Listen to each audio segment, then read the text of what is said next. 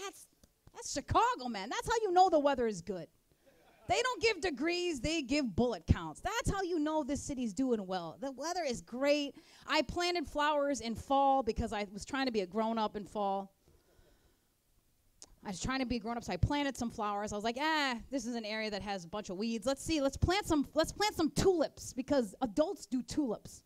Like an old lady, I think I'm becoming, right? I have a cat and I'm planting tulips, and I'm yelling at the mail person to stop fucking my tulips. Like that's an old, per- that's old. and I take naps. I swear to God, I must be 65. Okay, and the tulips are growing beautifully. I love seeing growth. Is any like, are you guys having that kind of growth in your own lives with tu- with spring? Is that happening? Awesome shit's happening in your life. Yeah. What about you guys? Eh, cool shit happen. Like what? Ha- what's happening? Don't just say it. What's happening? You guys, did you get him a birthday gift though? No, you were the birthday gift. Yeah. Happy birthday. Let's do this. I'm cooking naked. Corn, you know, like you should totally do it. Congratulations, that's great. That's growth. That's growth. I love I love spring because of growth. Fall I hate because of death, and I always talk about that later. How about over here? You guys have anything amazing happen?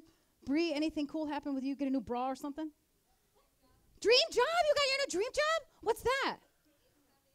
AIDS Foundation? Oh shit. I didn't know AIDS was still a thing. In America, it is. It is, right? I mean, I just figured Magic Johnson's still doing awesome. Is it?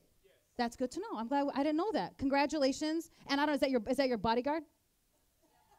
I love that shit. That's fantastic. No, good for you. Good for you. Is it based here in Chicago?